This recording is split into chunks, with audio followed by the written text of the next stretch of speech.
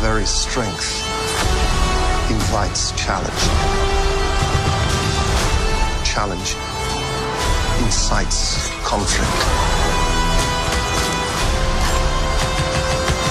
Conflict breeds catastrophe.